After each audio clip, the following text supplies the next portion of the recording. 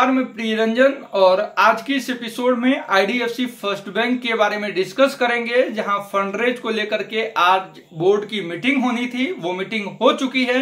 क्या मीटिंग रही? आगे के क्या ट्रेंड दिखेंगे?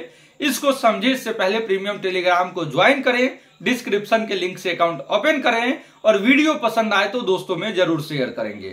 आईडीएफसी फ़र्स्ट बैंक के आज जो बोर्ड के मीटिंग होने थे, वहाँ फंड रेज को लेकर के बोर्ड मीटिंग होनी थी, जहाँ कंपनी ने 3200 32 hundred thirty two hundred crore के फंड रेज को स्वीकृति मिली है। ये कंपनी जो है इक्विटी इश्यू करेगी प्रिफेंशियल बेसिस पे, और ये फंड कंपनी के आगे के ग्रोथ के लिए यूज़ किए जाएँगे।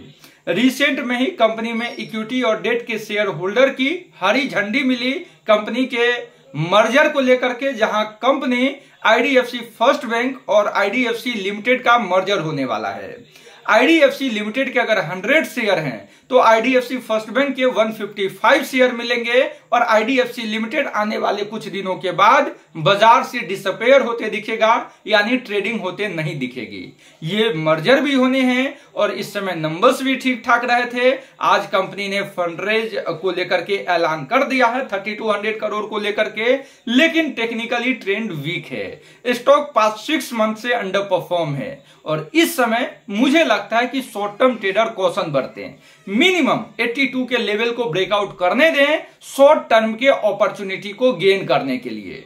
वहीं अगर लॉन्ग टर्म इन्वेस्टर हैं तो ये एक इन्वेस्टिंग अपॉर्चुनिटी है, जहाँ इस स्टॉक को इन बिटवीन 62 से लेकर के 70 74 के बीच के जो प्राइस हैं, उसको धीरे धीरे एकुमुलेट करें आईसीआईसीआई सिक्योरिटी ने 95 के टारगेट दिए तो मुझे लगता है कि मीडियम टू लॉन्ग टर्म में ये आउट परफॉर्म करेगा और short to medium term underperform रह सकता है।